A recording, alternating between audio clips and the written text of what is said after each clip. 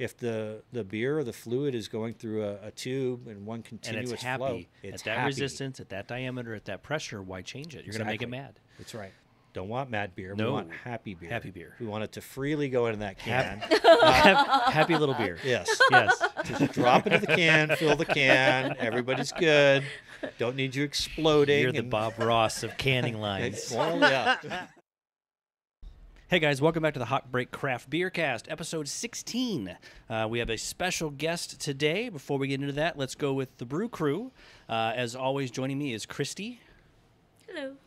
and of course JB from Vexet. What's up, guys? And our special guest today is going to be Anthony from Cano Canner. Uh, yeah. Yeah, Andrew. Andrew. I'm sorry. We should. That's probably- quite all right. I don't know if we should do that again. Doesn't matter. I Anthony, we I apologize. I think we just cleared it up. Well, I- Andrew. Andrew. Andrew. Oh my God, I shouldn't have had that warm up beer. oh, the whiskey you brought was Or quite the tasty shot of the too. whiskey, yeah, right? that's Right. yeah. yeah. Um, no, we appreciate you being here. So Absolutely, uh, before we get here. started, we'll go ahead and roll the intro. completely unscripted, delightfully unfiltered, and 100% fun. Sit back, relax, and get ready to have a great time as they bring you the latest in beer news, Benham brewing updates, and general shenanigans. And now, your hosts, the famed Brew Crew.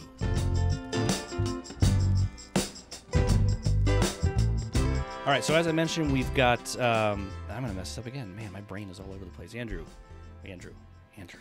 So I conveniently had it sewed on my shirt. You for did, but your mic's blocking it. Oh man. I can see it I fine. know because I keep thinking your name is Honeydew.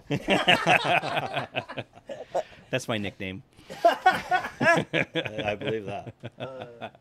So yeah, let's talk about what we're drinking, JB. That's a good idea. So, uh, Christy, you've got some looks like some Tower Station. Yes. Mother I Road. do. I'm gonna definitely do the other local beers, but I was already on a kick. I've already had a beer this morning, so like I'm just gonna stay with this. It's one of my favorite IPAs. it's a great go-to beer. Yeah. Gotta have your warm up. Uh, JB, you're doing some kombucha today, and this was I something that we had made uh, a couple weeks ago or so on our channel. There's some on our, of our videos. It actually came out really, really nice. It was super easy to do, so uh, we're happy with that. And then I'm doing a little Simple Machine Hoppy Boy, which is good. A Um, nine percenter. yeah, it's a, it's a big one. I think I can handle yeah, it. I, I love that beer. Yeah. It's just not. I gotta be careful. Yes. Yeah. It's eleven thirty right now.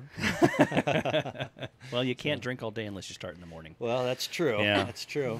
I've got a Diamondback IPA here from, you guys Lake over Pleasant. Lake Pleasant. Yeah, it's delicious. It's Yeah. uh, it's definitely true to the style I like. Yes. Yeah, no, that's yeah. definitely a good one. I'm gonna Yep. give this a sip here.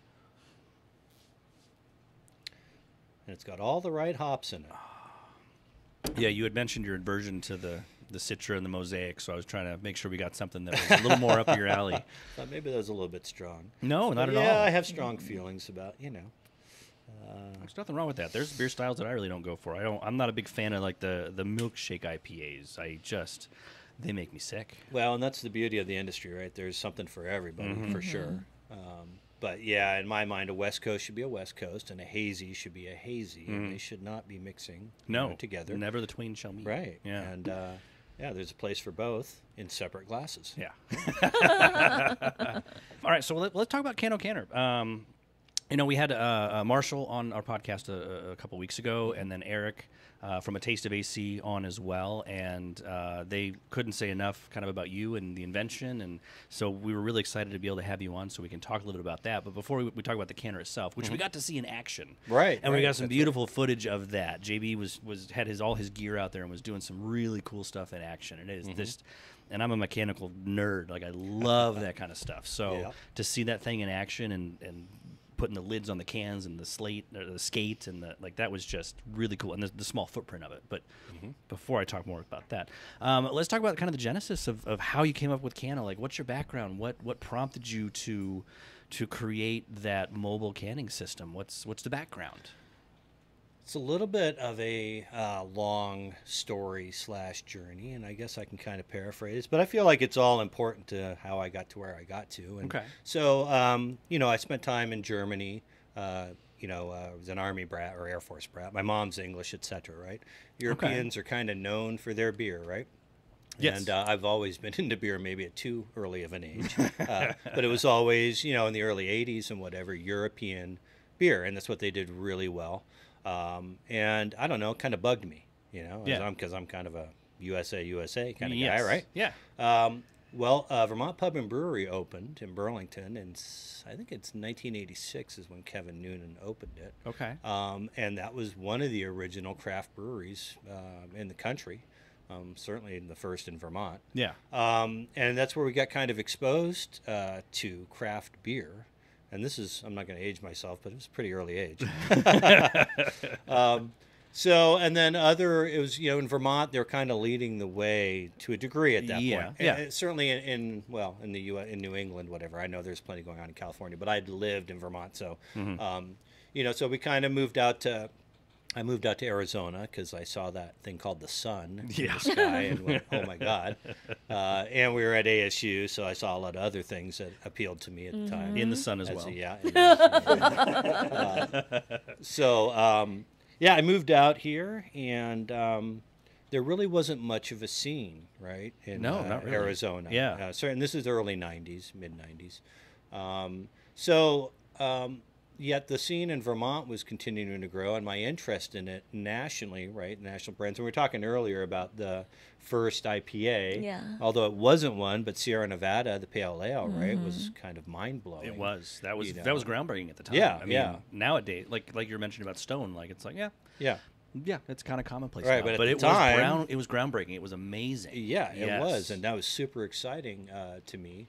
And then we talked about like Dale's uh, Ale, Oskar Blues, and that was the Mm-hmm. first craft beer in a can, yeah. which is mind blowing. It's wild to think about, like, because now, you know, of course, canning's a big part of Way more than glass now. I Canning mean, is important. Really has taken people. over. Yeah. but yeah, it really has. Yeah. yeah. But at the time, there was a big stigma about it. Like, Mm-hmm. oh, I can't put beer in a can. You know, good beer in a can. That can't be. What would what do you think caused the stigma? Do you think it was justified? Like the technology wasn't there? Well, there was, um, you know, uh, people think, oh, the can liner gives it, the aluminum gives it an off flavor, Yeah. the this and the that. And Yeah. so yeah, you know, because it had always been done in bottles. Right. It should therefore always be done in right. We've always done it this way. Right. Why exactly. stop? And I think there, I, for me at least, back in the day, I think if you think about the beer brands that were associated with canned beers, they were not the craft variety.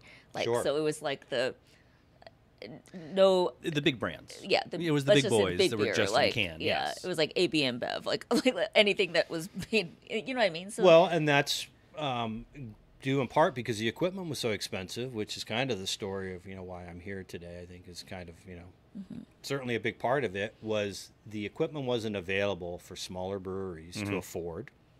Um, Yeah.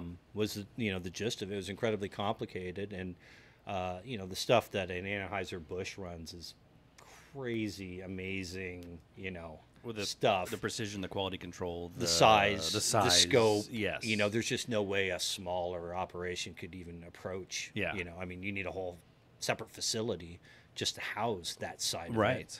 Of it. Um, you know, and then another facility just to house all the packaging material. You know, you don't even think about that, the cans and the case trays and just all that. That's got to go somewhere. unused, yeah. Yeah. Yeah. So um, anyway, um, this the industry started to evolve, right? And I could see where it was getting better and better and better.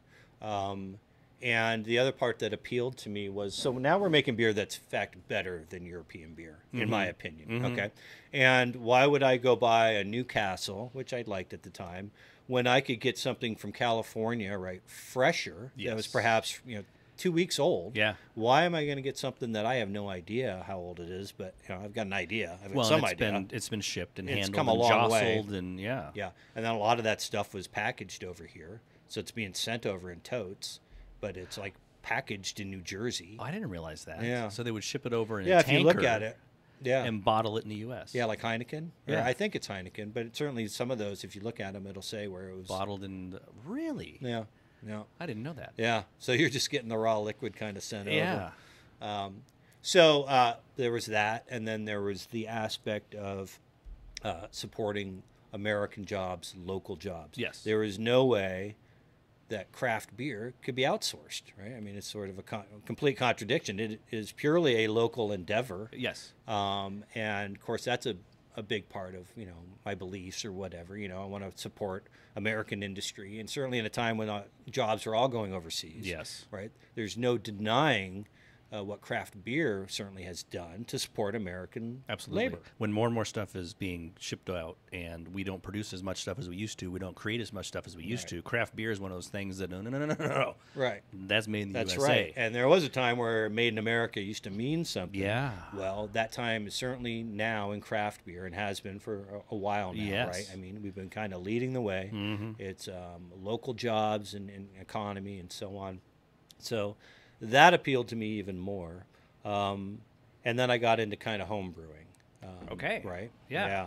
So um, anyway, this all sort of comes to a point where um, Helton Brewing was being built out uh, down there on Indian School. Yes. 22nd Street. Um, I would drive by there every day, uh, going to my daughter's high school or just coming home from work. But uh, I saw the brewery sign and went, huh. And uh, one day I stopped by. I saw you know a guy on the phone, looked like he was maybe important. I don't know. And I said, "Hey, excuse me," you know, and it happened to be Brian. And um, you know, I said, uh, I kind of introduced myself and asked him, you know, what what was going on and when they were going to open. And he explained that they were doing the build out uh, mostly themselves, so it was taking a little bit of time. Or Yeah. whatever. And I said, well, I'm pretty handy. You know, I got a welder and I can do some things. So if I could ever help out, you know, please let me know. Let me know. And you know, the only thing I ask is that you let me be a groupie. You know, kind of a, Yeah. a brewery nerd, whatever. Yeah. Like that, I can hang out here and it'd be cool. Get some behind the scenes stuff. Yeah, Oh, I can like ask right questions Yes. and I can see what works and what doesn't. Yeah. So if you're cool with that, me, let me be a brewery groupie, you know, then I'm cool. I'm more than excited to do whatever Yeah. and kind of see how a professional operation goes. Yeah. Right. So um, that's kind of what really kicked it off. Um, Brian's like, hey, we need a, a, a step made uh, to to get past the inspection, the safety inspection to open the brewery. Like it was a little metal step for their incline up. It had to have a certain dimension, Okay. but it wasn't something you could go buy at Grainger or McMaster-Carr because Oh, it yeah. was specific to their Their uh, building, their- situation. yeah. He's like, and I'm like, a step. He's like, yeah. Can you make us a step?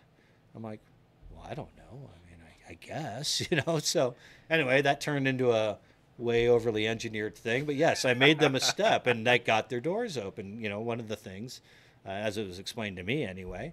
Um, and so that turned into, well, hell, can you make us a, a glass rack to hang glasses over the bar? You know, we're pricing these things out, and they're like a couple thousand dollars. You know, could you maybe make one? So was your your primary background prior to this? I mean, it's obviously you were doing some home brewing, so you obviously had some passion for the for the craft beer industry. I mean, y- you done a lot of welding. Like, what was your your prior? If you can talk about it, what was your prior industry? Well, prior and, and current, I'm a master mechanic at Volkswagen. Oh, Wow, that's cool. Yeah. So I've been with European dude, my friend, you buried the lead. Oh my gosh! That's awesome. Yeah. Wow. Well, yeah. Did that so- start in Germany? No, no, it didn't. But well, I mean, it did in a way because I was exposed to European cars. Uh, my whole and my dad was into European cars. Yeah. Um, kind of weird. I have an older brother. Um, he was into the American cars, and my dad was into American cars as well. Yeah. So he went muscle car. I went sports car. Wow. You know, it's just sort of whatever. Dad did both, so it didn't matter to him. We had Cougars and MGs and you know whatever. Um, so anyway, yeah, um, I was always from an early age taking things apart. mechanically inclined. Yeah, Yeah. and and you know almost burning the house down because I take things apart and rewire them back together again and plug Dude, them in we're the a kindred spirit. So yeah, I wonder what this will do. you yeah, know? exactly. If I put the wire across these two terminals, oh, it glows red. Oh, Right, ah, exactly. yeah. Look, that red's going up the wall. That's interesting.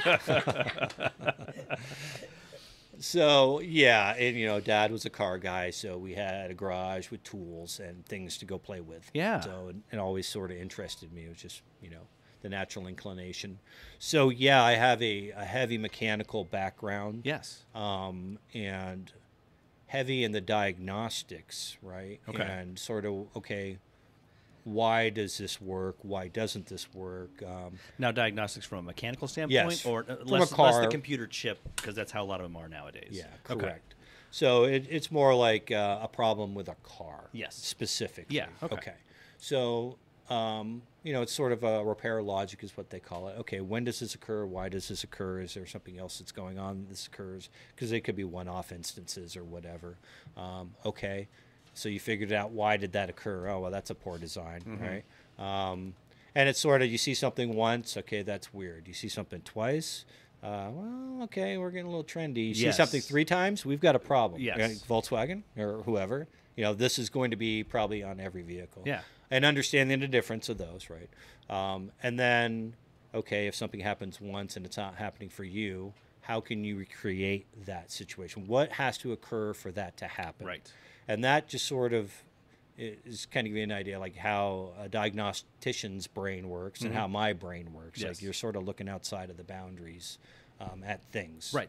So What steps are required to recreate it? Because if you can, correct. chase You've got to be able to recreate it. if you can't, it, it, it's almost impossible to chase down. That's right. Yeah. And then furthermore, you have got to be able to prove that you've repaired it. Yo, okay. So you have to understand how it fails in order to implement a repair to go test that repair to make sure you have. But is the repair fixed it. actually effective? Like, That's right. does it fix the whole That's right. problem, or does it cause more Right. unintended consequences? Correct. Yeah. Yes. What else could occur? Yes. Mm. So the world of automotive repair is full of these instances. Oh, yeah. And every year they'll come out with a new vehicle, and you'll think, you know, uh, last year's model was just fine. like, what? Why did you have to do whatever you just did, and now all of these things are, Are breaking, broken. right? Yeah. Which is actually good for me. Don't get me wrong; it's what I get paid to to do. but you sit there and scratch your head like you could have just left it alone, Right. You know, you were If really it's not broken, don't fix it. yeah, it's ca- and so I mean, if you consider I've got 30 years in the industry, you know, every year there's another instance of that, and every year from here on there will be also, you know. Um, so anyway, that's sort of my engineering background. And so that trans- so the combination of that mechanically inclined, the troubleshooting, the design, the experience you've had, paired with the homebrewing that you did, and, and let me let me can I dig into that a little bit? So how long have you, been home? Do you still homebrew now, or Um, I don't. Okay. Um, how long did you homebrew for? you know, probably, oh, I don't know, three or four years. Okay. Um, you know, I kind of, kind of went down that road, got into it. Tried it out, Yeah, little when I was kegging, um, Okay. you know, um, All grain bottling. extract. Yeah, just trying to figure it. No, I wasn't. You know, all grain. You were doing all grain. Okay. Yep, kind of cutting to the chase there, and then uh, playing with fermentation temperatures and sort of understanding like that role. that control and- and, yeah. Yep, yep, and doing all that, and um, well, okay. So the funny thing is, right, in doing all that, uh, cleaning is everything, right? Mm. It's like eighty percent of it. Yeah. Yeah. and a lot of your costs is your chemicals, right? Mm-hmm. Okay. So I knew a guy that uh, does boiler repairs in the valley. Okay. And he had chemicals made um, to clean out boilers, industrial stuff, or whatever, Right. glycol systems, things of this nature, Yes. right? Um, that were a private label from a company out in Ohio. So what I started was Copper State Chemicals and Supply. Really? Yes. Understanding that, hey, there's an opportunity here, right, in chemical sales, right? Every brewery burns through these Oh, things. Like if, if I'm burning through them doing homebrew, right, and pan, well, then clearly it's, Well, it's and on a- the commercial level, they go through way more chemical and more Right. different types of chemical. Right. Like the homebrew, you got your alkali and then just your acid sanitizer, and that's kind of the two that you really mess with. Correct. They're doing an acid, an alkali, a basic, a rinse, it's passivation. I mean, they go through so much more. correct. Yeah. So with that, I said, okay, well, and then I talked to this company, and they said, well, as it just turns out, we have a line that we're already making of caustics and acids and so on uh, for a brewery here in town um, that we can't tell you the name of, although I think it's Great Lakes Brewing in um, so uh, basically, you know, we'll license, uh, a- and then I what I did was in talking to Brian, um, he was a big five star advocate. Yes. Okay. Yeah. What I didn't realize at the time was he was the only five star advocate in the in the state. Everybody else was big on Birko. Really? Yeah, you know, from Five an industrial. huge now. Well, But it certainly then, is in the homebrew side. Well, okay. Yeah. Yeah. Yeah. and that's where on homebrew everybody's sort of five star. Yeah. right. And and, and Brian again, I mean, they make really good products. So um, anyway, um, we kind of looked at what he was using and sort of said, okay, well, let's whatever. And if I can get this for you at a you know at a good price, would you be interested? And he said, yeah. And um, that's what sort of kicked it all off. Ah. And the the product was proven, and we were coming in at a good price. Yeah. And you know, everybody was you know super happy about it. But it was the side things, you know, hey, can you make a glass holder? Can you make a this? Can you make me a yeast brink? Like, well, I don't know, what's a yeast brink? Yeah. Like, well, you know, it's. I'm like, sure, why not? Right? This is kind of fun. So So that's really what transitioned you from the chemical into more of the being- chemicals is sort of what got me in the door. Yeah. Okay. The fun stuff was what really, you know, was fun. Yes. And I had no idea what this equipment was. I made something called the Hop Tub, which is a crazy dry hopping piece of kit. Okay. That um, I still am not sure how I did it, but it was it was quite a quite a thing. Um, but anyway, what that allowed was for me to use my brain in a different way than fixing cars. Mm-hmm. I get to go play with my toys, my welder, my saws, you know, all my You're making stuff. You're I get, designing I'm stuff. getting paid to make stuff, which means I can go buy more toys. There you go. Right, so that I can make more toys with that, get paid more, you know, etc. So that's sort of what started this whole thing of going down the road. One day we were looking at um, canning lines at Helton. He was about ready to transition, wanted to get into canning, and um, we brought him up on the computer, and Marshall was there, and because Marshall was that's how I met Marshall. He was working down there, and and Rob, he's a great guy, Rob Code over at Tombstone, right? Um, so um, anyway, yeah, they brought him up, and we were looking at a line, and it was like thirty-five thousand dollars or something. It was an entry-level line. You're literally holding cans under taps over a sink. It was like a, a stainless-looking uh, restaurant type of sink, Yeah. where you had a stainless sink with a, the tr- platform. a work is exactly next to it. It was Yeah. all all in one kind of a table. Yeah. Yeah. Um, and then there was a seamer that you would put a hand place a lid on that can, and then bring it and set it on the seamer, to seam the can. and then seam the can. And this was thirty five thousand dollars, and I went, "Holy crap!" And of course, everything in this industry on a professional level makes me go, "Holy crap! How much?" Mm-hmm. You know, like, wait, what? yeah. Um, so, and like I said, if it's shiny, it costs money, and they're not lying, right? I mean, it's There's a lot of sticker shock in the brewing industry. Like it's just, but it's beautiful. It's good, but just that sticker shock is. Oh, and it's a really kind of a niche industry in that sense. So you don't have a lot of options. Yeah. you pay the man. Yeah. you know. But I felt like there was a lot of gouging going on at that point too. Like there's a lot of advantage being taken. You know, not a lot of competition. like because I'm looking at they this wanted. as an outsider. Yeah. going, that's crazy. Yeah. You know, Are you kidding me? Your Like, material cost is not nearly that with the labor and stuff. Like there's right. some incredible markup. So I both arrogantly and ignorantly said, "I can do that." I love it. yeah. Well, I can do that. So that's what sort of started it. But I also saw at that moment, wait a second, this is something people need. Yeah. You know, small breweries. And again, this is going back probably, gosh, I don't know. So I started in 2016 with the chemical sales, right, with Copper State. And then that was the other thing. I quickly realized that going to talking to breweries, like nobody wants to talk about chemicals, right? It's kind of like, hey, what are you using to clean your toilets? You know, I got a great product. And I, nobody cares about that. When you start talking about like yeast brinks or uh, eight-headed keg fillers and things of that nature, Then they perk up. Yeah, Yeah. now that's an icebreaker. People, you know, and I and I get it, you know. And it was almost it got to the point where it's like, I don't want to talk about chemicals. You know, I want to talk about making Mm-hmm. Well, stuff. the fun stuff. Yeah, Solve exactly. some problems. Fill a need. Yeah. So, um, you had Instagram kind of coming out at the time. Okay. Um, I'm watching, you know, these local breweries. Uh, maybe Wren House as an example, right? They they'll do a canning run, and now they've got content they're promoting on Instagram. Hey, we're doing a cam release tomorrow, you know, and then they're, you know, oh man, it was a fantastic release. You know, we sold out in four hours or whatever the case may be. Yeah. But it's given them content, and I'm aware of it. I'm I'm looking at it, you know, whatever, and I'm like, wow, that's really neat, you know, but there was not a canning line that specifically say Wren House or another would be a Goldwater in the original Mm-hmm. in in um Old Town. Um, you know those guys over there. You know, in the morning they literally roll that garage up, or they used to anyway. The garage door open out to the parking lot. And they'd have to roll their equipment out of the way, their keg washer and everything else, just to get going, just Yeah. to have the room to get going. Yeah. So I'm thinking of uh, breweries like this, of which there are many, Mm-hmm. right?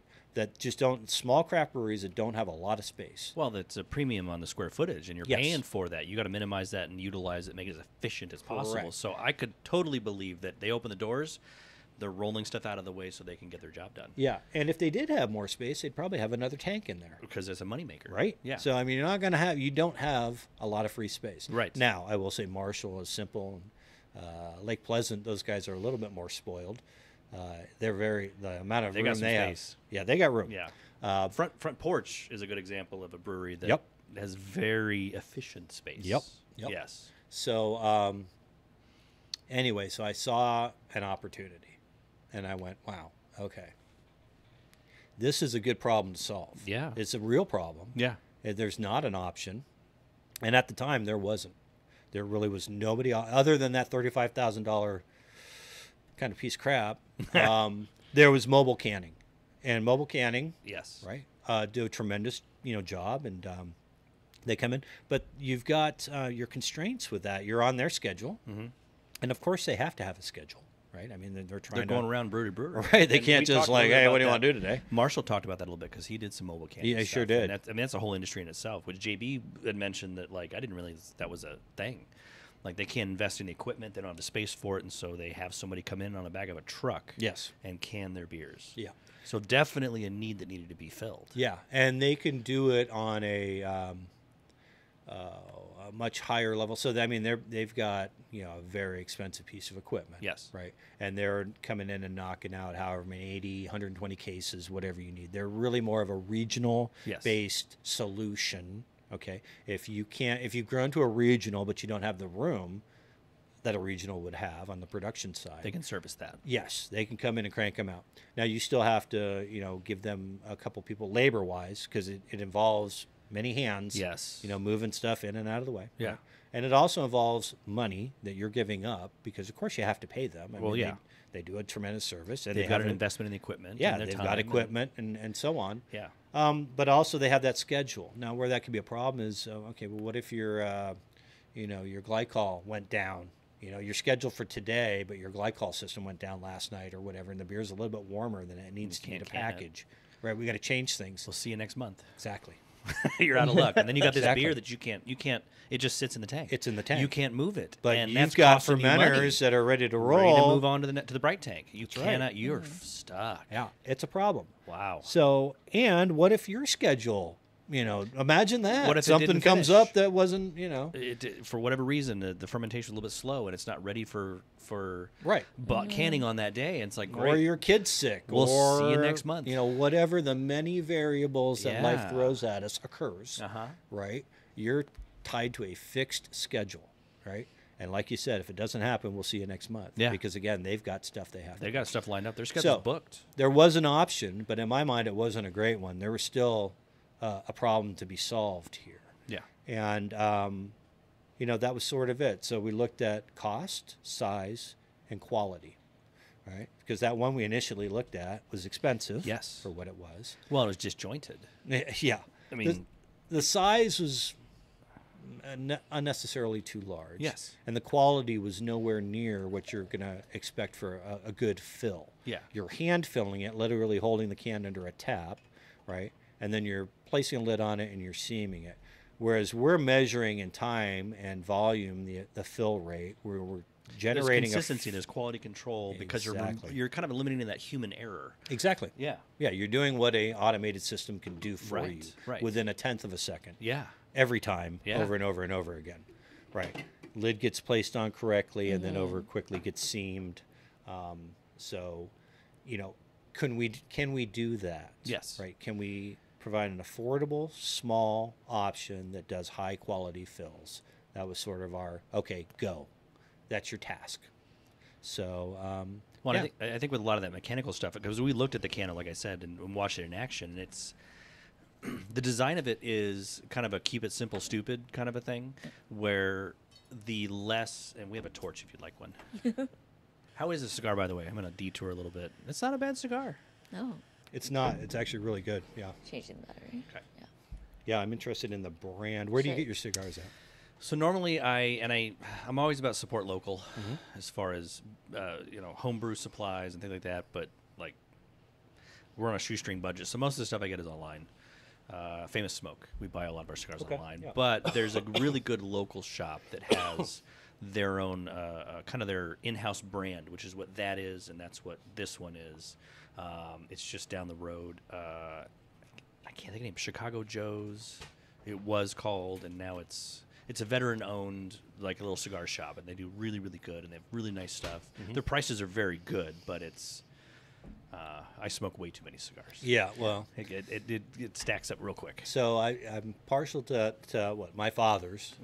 Those are really And I good. have but, one of those, Yeah, yes. but at what they cost per But for stick. twelve bucks a stick, Yeah, that's uh, right. Yeah, So, but I actually just kind of discovered a factory. factory rejects, No, or another called factory. factory. Gosh, what is it?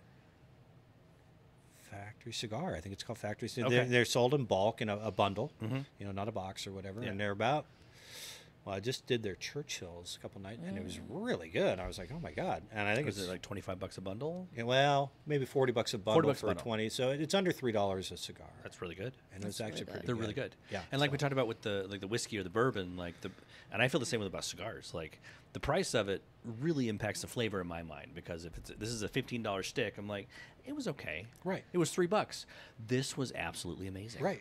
I think it's a little bit more subjective with like scotch or whiskey though, because like I do feel like there is a point where you're paying a price and it's almost like okay, this is not a great. You know what I mean? Like there's a it's a bigger differential for me at least because I'm not a cigar connoisseur, but I think I don't know like I don't mind paying a little bit more for a better bottle of mm-hmm. whiskey or bourbon or like we used to Well, drink to a be lot a- of single malt scotch and it's like now it's not affordable so now it's like bourbon you know Well, then we're doing Japanese whiskey, which was really well priced for Yeah. what it was. Now that's skyrocketed. Right. So yeah. It's sort of like yeah, as soon as you discover something, the prices are going up. Yeah. And yeah. yeah. But on the cigar side, like I was saying, we're in Costa Rica and um, looking for you know, good, and they they just kind of don't exist. Sort of weird. Um, but anyway, I sort of discovered that well, okay, but you can get Cubans down there. So I was like, okay. Of course, you can't really bring them back, but uh, well, so I went down that road a little bit. And apparently, Cohiba, I could be wrong here, was bought out by a Chinese firm. Really? Yep. And Cubans are not just sought after in the U.S., right? Because they're exceptional. They're sought after worldwide. It's a global kind Yes. of brand, a mm. Cuban cigar, certainly. Yes. Cohiba. Well, as such, they fix the price. So where they're like sixty dollars a stick, or somewhere around there, anywhere in the world, including Costa Rica, which is also kind of an expensive place. Yeah. So there's a fixed price. You've got uh, an, uh, kind of a corporate culture there now, which has made the quality suffer. And this is all things I was reading about, like kind of studying. And so it's like, wait, now I'm paying more because somebody just arbitrarily decided to fix Because of the price. brand and it's fixed. And yeah. there's legitimate concerns about the quality of it. yes. I'm like, yeah, no. I'm like, I'll, I'm I'll do doing that. Nicaragua. Yeah. You know, Whatever. Well, and they have the Cuban seed that they brought over to Nicaragua or, Right. you know, other areas that they grow. And again, the climate's a little bit different, but it's still the same seed. So yeah. eh, it's not exactly the same, but Yeah. they're trying. i don't know i think just watching the process of uh, what it goes into rolling a Rolling good cigar, cigar. and the it's not even i mean it's long term right like they're growing things for years i just have a hard time believing the quality would be the same because it's It's not the same. it's not the same No, the like culture's they're not taking the same the- amount of no. time to no. preserve these leaves or grow these leaves or cultivate them i don't know Yeah. But, yeah No, agreed. So uh, taking all those things that these big, it's way overcharging for, and being like, this should all be a smaller, fr- but or closer together, like less, less human interaction in some of those steps. Because when you introduce the human element, that's where mistakes happen. Right. That's where inconsistency happens. You lose the quality control, which is wasted product, which is expensive. Right, right. So, um, and like I said, at that time I had met Marshall, right? Um, and Marshall, as you mentioned, had a background in canning. Yes. Right. So he was a godsend, right? I mean, he's my canning Wikipedia, and, and is to this day. Okay. He is a technical wizard from brewing, canning, bottling. Like he is dialed into the numbers. I don't mean to, to redirect. I'm sorry, but he was telling me his the brewers that he's got working under him. He has them do the math manually on the brew days. Like, okay, let's. This is your extraction. This is your gravity. Let's mm-hmm. correct it. How do we do it? He has them do it longhand. Mm-hmm. I so respect that. I couldn't do that. So Yeah. he is a technical Yeah. Wikipedia. you know, for as long as I've known Marshall, yeah, I've loved that guy. I mean, just, he and I click. He's a uh-huh. great guy. Yeah, mm-hmm. he's a super great guy for sure. Very generous with his time and- and so on. Um, so anyway, I sort of had him and uh, to use, if you will, and I okay, because guess what? I'd never built a canning line before, uh, nor had I really ever seen one like in operation before. I just felt like, hey, maybe there's an opportunity here. Um, so I asked Marshall, what do we need? Yeah. you know, what what's this thing look like? What do, Right. what do we got to have? And so we started to kind of boil it down, um, and then it was sort of left to me, sort of like, okay, well, we need fill nozzles. All right, Yes. let me figure this out. Yeah. As it turns out, that uh, took quite a while. That was sort of the the real holdup was getting Was the fill nozzles. Yeah. So um, Why? Why is? I mean, uh, that seems like a pretty. Well, I guess if no other canning lines existed, that wouldn't be a common off-the-shelf part. Correct. And we did, yeah, we found some out of China that was a nozzle for filler machine, whatever. I don't know, I forget how they describe it, but I don't know. It probably could have filled lotion into bottles too, I guess. I don't know. Uh, needless This beer to say, is really smooth and moisturizing. right, exactly. uh, needless to say, it did not. It didn't work. No, and Yeah. uh, we were getting breakouts. So Yeah. beer is an incredibly volatile, you know, or any kind of carbonated liquid. Temperature, pressure. Yes. Oh, Yep. all that. Yep. Yes. So um, that's sort of eventually where my brain had to shift to that and sort of this whole kind of hippy dippy. Okay, beer is a flowing medium. Okay, let's think of beer. beer is in a river, a stream of happiness. Be the beer. Yes. Okay. No, no, no, well, no, what no. happens when the beer hits a rock? Right. It You get creates turbulence, yeah. You get white caps. you get- nucleation it's, sites. It's no longer happy. Yes. Right. So we gotta like make sure You got to get the zen of, of beer. Exactly. So that's sort of the the design was okay. Well, and then you're you're dealing with things like okay, well the diameter of the tubing, the diameter of the nozzle. Okay, well what if we make it larger at this point? What does that do to the flow and the speed and the restriction of it. Yeah, Yes. exactly.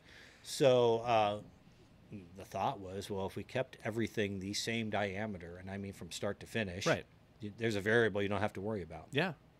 If we introduce the beer into the nozzle where there is zero headspace for air pocket to possibly get trapped, you no longer have to worry about that being It an issue. exploding, really. I mean, just all of a sudden erupting out. Yeah. But the the real hardship though beyond that is you have to have access to a brewery that's got a tank of beer that's To carbonated. kind of test that. Yeah. Yeah. Yeah, and if you don't have that in your shop, and my wife just wouldn't let me do it. she wouldn't let you have a 10 barrel No, fermenter? I said this is really necessary. that just seems selfish. I know, right? so, uh, yeah, that's kind of a thing that you hadn't really thought about either. Like, oh wait, Right. we kind of need some product here to test. to test. to see. You know, Did you fix the problems? we did fix the But you know what I mean? Like you have to be able to test it Oh, to determine exactly. if I've got a fix that didn't create other issues. Yes, we fixed that problem, but created this one. Yeah. So that was sort of. I mean, that was the beginning of the whole process. Of, like, you got to be able to fill the can. Yeah. right? So there's no point in looking at anything else until we figure out. Because guess what? Lid dispenser? How do you make a lid dispenser?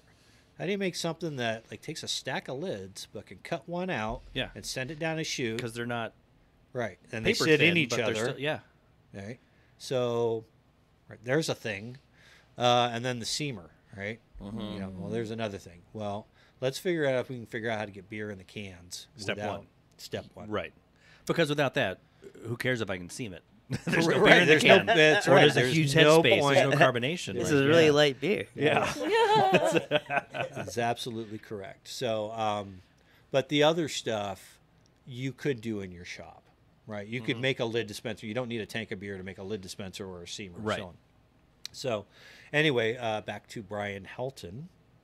Uh, he had those tanks of beer, and he didn't live too far uh, from me, so he agreed and let me come in and test. Well, after watching good beer go down the drain, you know, for a while, he sort of said, "Wait a second, maybe we should like hold on here." Let's, let's revisit this. Right. Yeah. So uh, then I had them do. Uh, I paid them to do, or I, I traded them some services. Let's put it that way. Uh, of second runnings, just some crap. Can we put some crap in this tank and Yeah. carbonate it? Yeah. You know, I don't care if it's, and I don't need good beer. If you got I a tank need, you're going to dump or it's not quite good enough to sell, don't dump it. right. Let me test with it. Right. So, um, but you know, it involved bringing the line down there and testing it, and, and people's time, Marshall's time. You know, very time consuming. Yes. and um, we just weren't getting uh, the results that we needed. You know, like it just wasn't working. Let's Yeah. put it that way. It wasn't. Yeah. It wasn't right. Um, so it was very, very frustrating. But in, in all of this, man, it really made me. And it's very cliche, but failure is a huge part of success. Right. Yes. Yeah, if you don't know how to fail, you're never, You're never going going to to be succeed because you'll give up. You'll stop. That's right. yeah, you've got to accept that. Yes. Mhm. Period. I mean, if you want to be successful, you're going to fail over and over and over and over and over and over, right? And who knows how many times? You better be able to suck it up, or you're not going to succeed. Right. succeed. Right. Yeah. So yeah, I mean, it, it got pretty. You know, it's pretty bummer. You bring all this stuff down there and you think you got it, and anyway, we were able to rethink and to where I made like a small test stand with a little nozzle. I didn't have to bring the whole machine down there. It was super easy to transport. Not a lot of waste because it was a tinier scale. It was of? just one nozzle on a platform, Gotcha. a test platform, so not a dual. with a hand operated Chingus. And uh, I could bring that down, and they'd be like, "Oh yeah, you want to plug that in? Okay." And it's not threatening at all. Right, like, that is little not thing? threatening. Oh yeah, no, that's fine. Yeah, we're good. Yeah. Um, so that sped things up, and we were able to like just test the nozzle, nozzle alone, and go okay, and then kind of try out these theories. And um, of course, I'm making these nozzles at the time, so I had to buy a lathe, teach myself how to use the lathe. Well, you have You to know. have the tools. Well, exactly. So you might as well get the lathe. Right. So I'm fighting on many fronts at this point, right? um, anyway, we figured it out. Yeah. right? Finally figured out what the issue was. Um, and that was kind of the key to it. That was sort of the start of it. Can you talk about what the issue was, or is that kind of like a, a Well- secret or trade secret or copyrighted and or, or trademarked or? It was, well, it was certainly the design on the nozzle Uh-huh. and considering what was going on internally in the nozzle. And so basically keeping it as smooth a transition, make that nozzle more or less look like the inside diameter of a piece of tubing. Right. Right. Very few angles, Right. very few obstructions, just Not massive changes in Right. diameter anything, eh, no changes in diameter. or no changes at None. all. Yeah. None. So that's a trick. Uh-huh. Okay, how do we do that? Right. But and I'm not even sure if that was entirely it or not, but it just made sense Mm-hmm. at the time. If the the beer or the fluid is going through a, a tube in one And continuous it's happy flow, it's at that happy. resistance, at that diameter, at that pressure. Why change it? You're going to make it mad. That's right. Don't want mad beer. No. We want happy beer. Happy beer. We want it to freely go into that can.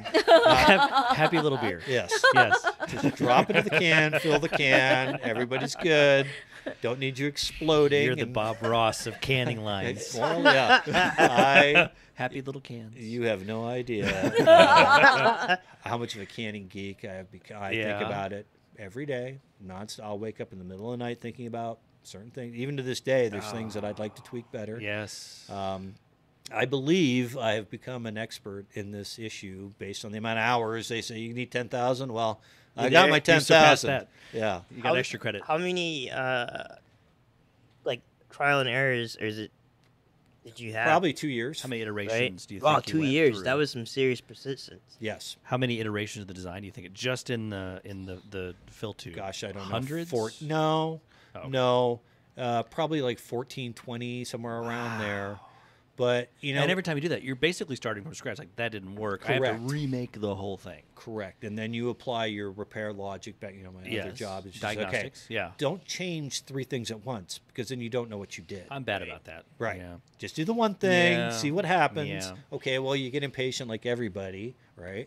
And then you're like, okay, well, this is another commitment of Marshall's time, Yeah. right? My Yeah. time, the brewery's time. They're letting me come in and hook up, right? So make no mistake, there's no way I could ever have done any of this Without, without, the support of those. Oh my gosh, there's so many good people in this industry, and Yes. they're they're you know they're a handful. You know, well, they're just the ones I'm mentioning. There are a number of good people that um, I've met.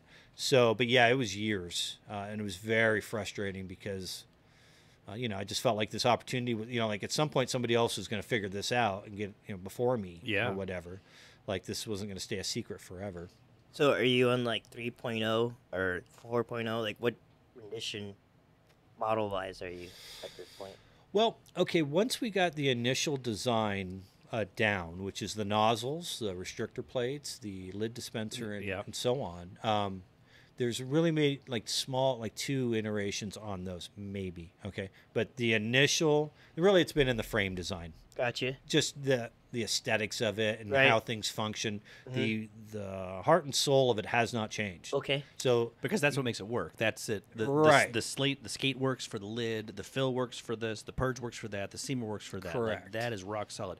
Don't fix what's not broken. Correct. Well, I It's burned, fine uh, burned enough on. Yeah, Yeah. yeah. You're fine tweaking the software, the frame, like you said. To Yeah. so so, what version is is out there? To JB's question, like, is there a 3.0 or is it just little minor tweaks and updates as you Well, go? okay, or- so the frame iteration, there's probably like four different frames out there. Oh, yeah? they're all the same, more or less size and whatever. It's just different, uh, you know. Whether I'll use uh, a brushed angle iron here or tubing or, or whatever, the hinge designs with and the shelves. with the design that you did, is it always kind of the same idea where the the wings on the side Yes. fold down? So that's Yes. always part of that design, but you've improved the latch or the hinge or Correct. the. okay. So, um, if you look at Marshall, it's simple, or at he front, has version one. version the- one, and it's OG. always going to be The different OG. than everybody else's. Yeah.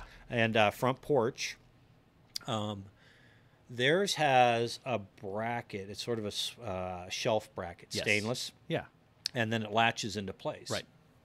Well, and it's welded into place, and um, it's kind of a pain, you know, to get it all lined up and uh, to to make. Yes. Yeah. Once it's done, it's it's great. It's super easy. Right.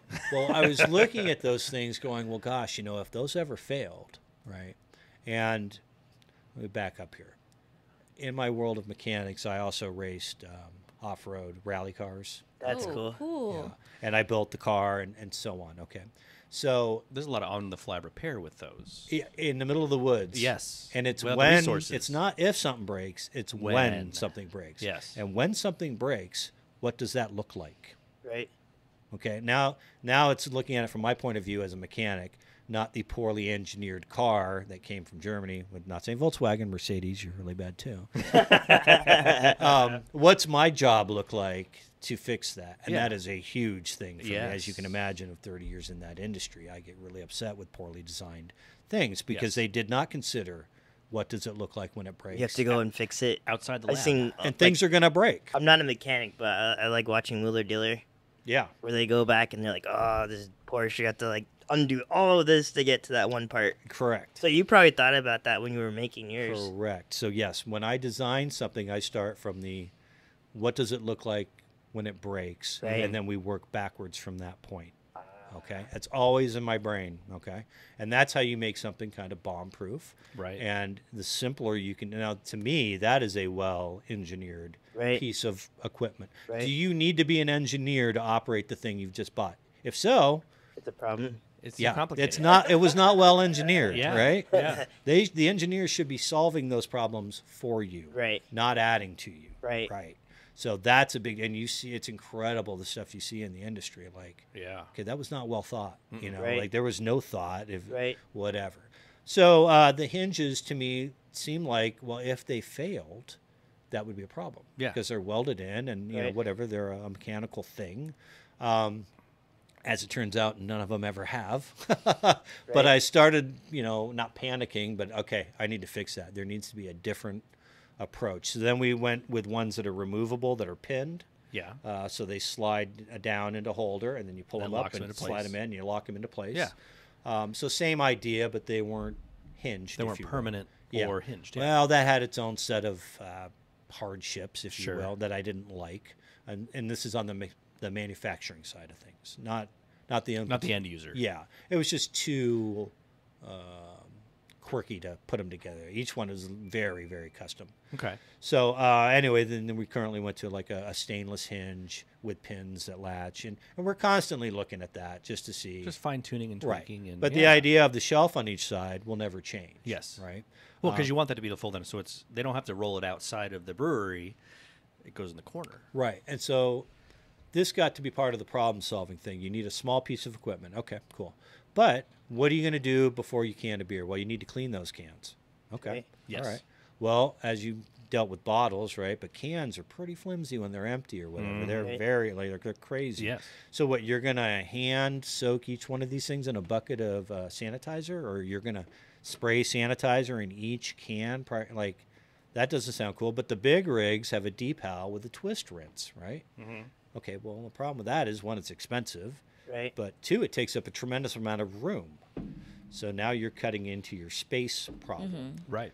Um, so, is there something we can introduce on this canning line that will solve that? Well, yeah, the can, or the the glass rinser. The glass rinser, yes, That was genius. which is a brilliant because it's existing technology that has been around for a very long time. just but you're passing sanitizer through it. Correct. Just And looking so at it a little spritz. differently. You're not wasting a whole lot of sanitizer. You don't have to soak the whole thing. You Mm-hmm. just it's a quick spritz, 30 seconds, you're sanitized. Right. Yeah. So, it's the knowledge of uh, having done craft beer and, and uh, filling bottles and whatever, and appreciating that side of things. Okay, things have got to get cleaned. Mm-hmm. Yes. And whatever, and then we got to fill them. Okay, and then guess what you got to do? Get rid of them. Right, as you're hand filling those bottles with your wand or whatever, they quickly kind of get in your way, right? Yes. Right. And you got to get them capped, and there's so much more going on than just filling Just that filling. bottle Yes. Right. that's often mislooked, right? Yeah. So having the shelf on the other side, a place to put the things out of your way, you know, built in. That's Otherwise, you got a roadblock. It's a, Yeah. it's a bottleneck. Yeah. Okay. You could seam it, but then you got to put the can somewhere like Yes. easily. So we're going to walk over and set on a table each one. Well, that's not really a solution, Right. So, um, so yeah, that was the need for the other shelf. Well, okay. Well, so now it's an eight foot li- wide uh, product, but I need it to be small. Well, so those shelves have got to Mm-hmm. They got to fold. they got to go away. Yeah. So, um, yeah. And, you know, it's looking at these things from that point of view and then going, okay, well, how do we do it? You know, and then, you know, tying the, uh, the rinser, well, that's got to be tied into a, a corny keg, something that holds a sanitizer. Right. Or, well, so we That you can pressurize, no Correct. pump. Right. Yeah. So we, you know, corny keg works perfect for that. Yeah. Right. It's easy to fill and so on. Uh, and then say, well, if we're going to do that, then we can run the CIP cleaner through it as well. Hell, we can clean the lines. You know, why not? We're just adding a different, you know, uh, breweries or, or whatever the five star. Um, it's like, okay, well, that's got to get pressurized. Okay. Well, we've got CO2 coming to the line, Mhm. right? Because we're pre purging the cans with CO2. So we have a source. Right. All right. Well, just put a check valve in and tie in that, you know, and just let's put a shelf down there, there. and we'll just put the, the keg on the shelf, and now we've got a built-in cleaning system. Yeah.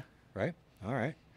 So then it was sort of we had a compressor, and we had a huge compressor when we were first testing this uh, to run the pneumatic actuators. Mm-hmm. And that was built into the bottom of the stand? well, it wasn't to begin with. No, it was No. a separate, say, 24-gallon, you know, Tank compressor. full-size compressor, if you will. Okay. Well, we realized in running, once we got the problem solved, and we were running at Marshall's, that that thing never turned on, like ever, like in the whole run. It's like, well, gee, I So wonder you do an how. entire run and never deplete the tank. never. Oh, I'm like, well, that's interesting. So That's I go, well, I wonder how small we can go. Yeah. So we started playing with different sizes, and it's like, well, heck, if we can go this small, we'll just mount it to the frame, and we'll just wire it into the control panel. So there's another problem solved, if you will. Right. Um, so because at Brian's, he ended up getting a larger canning line because he wanted to become a regional at Helton Brewing. That was their whole model, um, you know, as well. So he was, even though the idea came from him, uh, he was never my intended uh, client or customer because Right. I knew what what I was doing was for somebody else. It was for a different size brewery Yes. that had no interest in being a regional. But the fact that he still helped you out. Oh, for sure, no, Oh, great what a- guy. what a great guy. I mean, Great guy. even talking to Marshall, like I don't, I remember going to Helton, and he, I think we talked about it in the last podcast with Marshall. He's kind of larger than life in a way too. Like he marketed himself very well and the brand very well. So I think he definitely had higher, like in his mind, higher goals than like the market. Like Mm-hmm. he seemed very driven. And Yes. a great spokesperson. Yeah. So, yeah. No, I love the, the the design and the mechanics, and I love too when you said that, like, your brain kind of obsesses over little things. Like you wake up in the middle of the night and be like, "Oh wait, I should do and I should do the." My brain's the same way. drives me nuts. I can't sleep. Yeah. But No, I'll I'll be yeah. constantly thinking about how can I improve and tweak and go and maybe this will work and let's try this and I mean just Well, and it's uh, funny because inevitably the next day it just comes to you. There it is. when you're not focused on it. Right. You're not trying. Right. You can't like solve it or whatever. Make yourself solve it, and you know it just inevitably it just sort of It comes. pops in your brain. and You're like, well, that was much simpler than I was thinking. And it's crazy too because I'll be looking at something, uh, a design that I've had for a couple of years. Like we changed the skate and mounted it on the lid dispenser now. Okay, the skate is what holds the cap on. Mm-hmm. That keeps it from floating off. Essentially, is its role. It puts a little bit of pressure just to keep it so the in foam place. doesn't. Yeah, so it doesn't float off, and you're not off. introducing oxygen into the can of beer. Yes. And the first can is getting seamed immediately. Well, the second one's sitting there, right? Yeah. So the skate is putting pressure on that lid. Well, I used to have a separate bracket for that skate. Okay, uh, it was just separate. Well, the problem with that was if you wanted to do smaller size cans, okay, you had to there was now three things you well four. Okay, if you want to do smaller cans, you want to go from 16 to 12. Okay. Okay. Now the nozzles are going to come down bottom to bottom, so you're changing the timing. That's the The, only the thing. fill. Yes, the fill. A little shorter fill time. Correct. Okay. So that's an adjustment, but that's no big deal. Next thing is you've got to lower the lid dispenser. Okay. Okay. Because the lids have, you know, it's got to come Those down are pretty lower. standard. That didn't, shouldn't be too difficult, right? No, but it's another adjustment. Sure. You have to do. Yes. Okay. Now there was the skate bracket that had to be lowered, right? yeah. Okay, whatever. So you have to lower that, but then on top of that, your seamer, right? And what happens in the industry is you have to the arms that hold it, the upper plate and the lower plate, you have to swap those out and lower. Um, because you can't move the mechanics of it, you have to move the tool itself Yes, to be longer. the upper chuck, or- the yes. the ops and the upper chuck and the motor come down Yes. to the puck that lifts the can. right. So, all right, well, now we're talking quite a bit of messing around, right? Okay, well, let's look at this. We can't really do anything about the nozzles, right? The nozzles are where they're going to be, and we just change the timing. That's not a big deal. Right. All right. Well, what if we made a longer stroke piston on the seamer, right? It's still going to apply the same amount of pressure at 90 psi. Why couldn't Specify we? where it stops, Yeah. but have a longer When it seamer, so stops, you have more options to go lower for the shorter. Why can. do I have to change out these arms? I can just make a longer piston. Yes. and we stabilize it with a rod and anti-rotation device. Why can't we just do this? Okay. And the funny thing is, a lot of this is because I'm looking at it from outside of the industry point of view. Yeah. Right. Now, if you ask Marshall, as much as I love him, he's used to seeing things a certain way. Right. This is how we do it. Mm-hmm. Yeah. You know, or, or as an, and that is a lot of people. in the- Well, that's just sort of how it's done. Right. And then, and my job is to look at it and go, well, that's dumb. Okay. Like I, that's dumb. that doesn't make any sense. Right. Like it's going to apply the same amount of pressure Right. and that's the constraint, right? Is the amount of pressure. So what if we did? So on the new models, we're doing that. Okay, so then what do we get back to the lid dispenser and the skate? Well, then it occurred to me, well, the skate is always in the same position relative to the lid dispenser. Right. So if I do 12s, its relationship to where that lid goes on is the same Right. as if I do 16s. Right. So integrate the skate into the damn lid dispenser. Yeah. It took me two years to go, well, that was stupid. Why don't you just make a new lid cover? And that's what we did. So now, if you want to do 12s on my line, you do one adjustment, Yeah.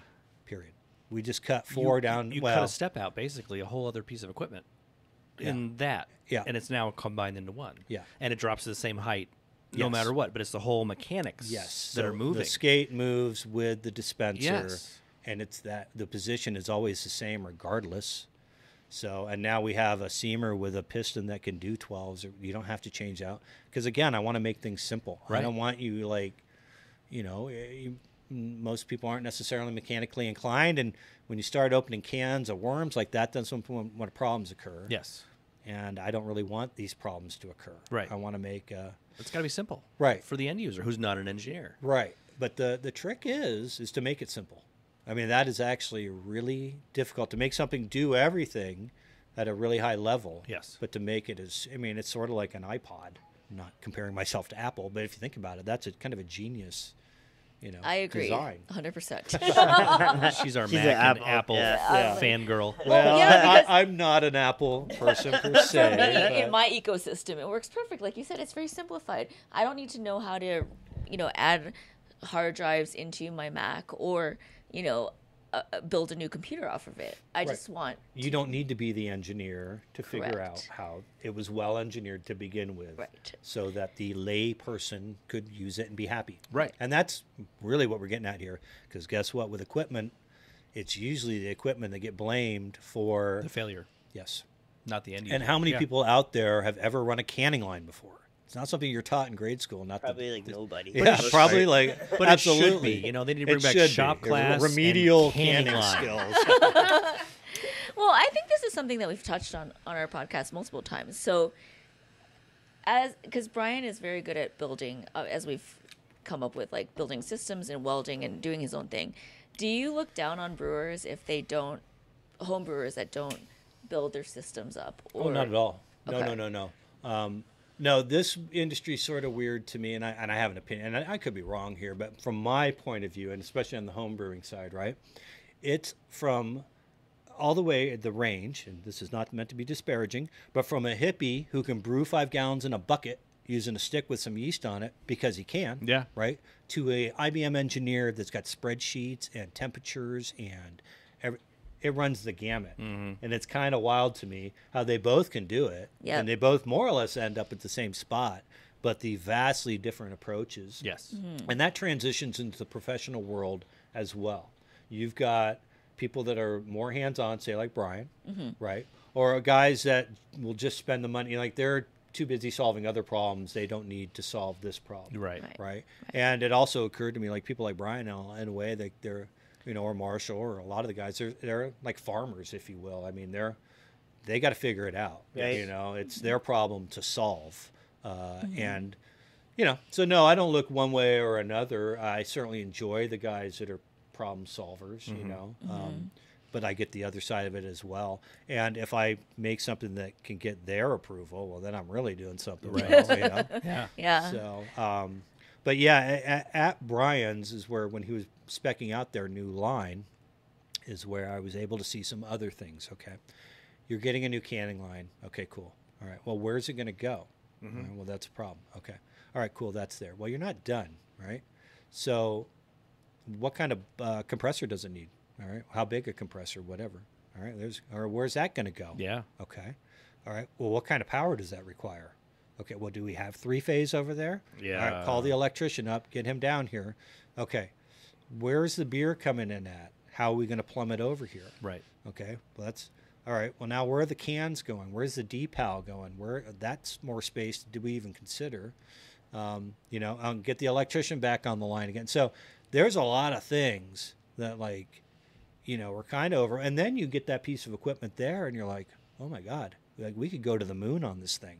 like, and it's it's kind of funny because I don't know if I want to say there's this arrogance, but there's this confidence, right, that I've seen with, let's say, some breweries, okay, that I don't understand, right, because it's uh, you may be an excellent brewer, okay, but that doesn't qualify you to be able to run a piece of equipment.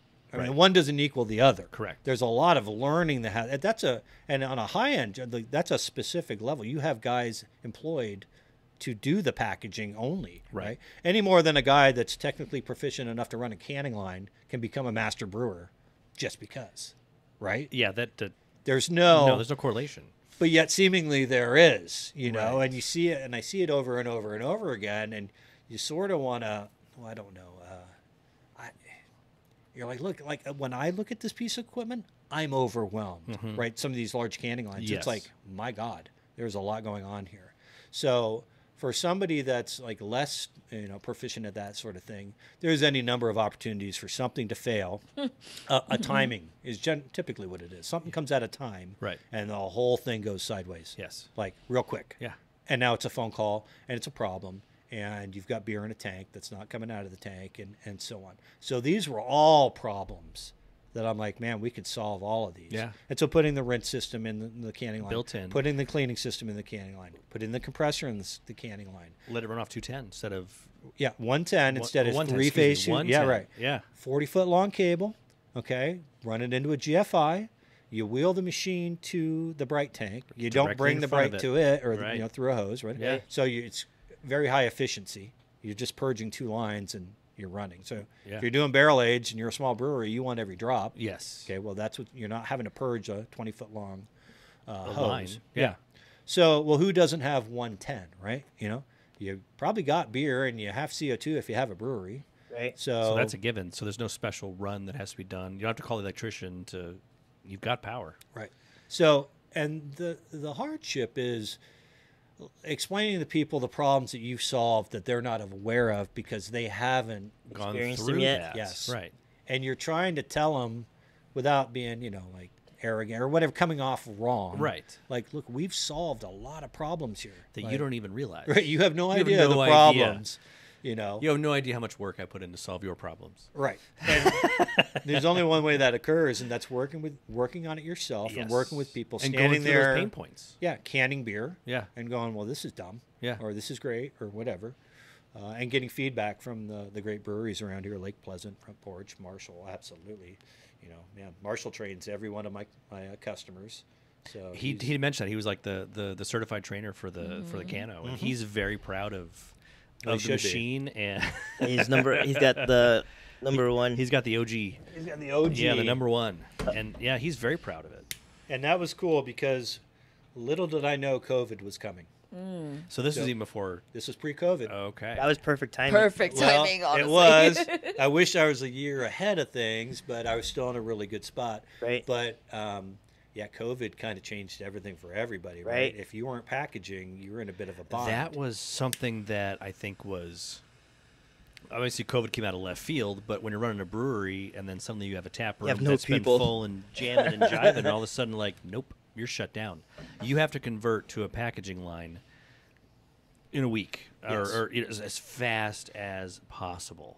So here's the good part of the story is when we solved that fill problem. Yeah. We'd already had the other things sort of established, the lids, you know, because they were things I was able to work on separately.